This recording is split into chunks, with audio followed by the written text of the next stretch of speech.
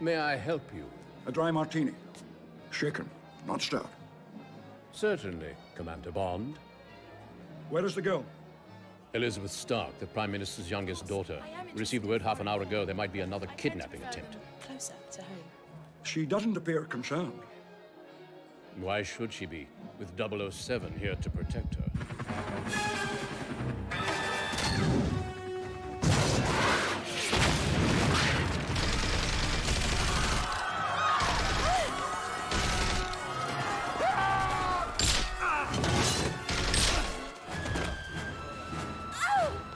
Too bad. The game is over, Mr. Bond.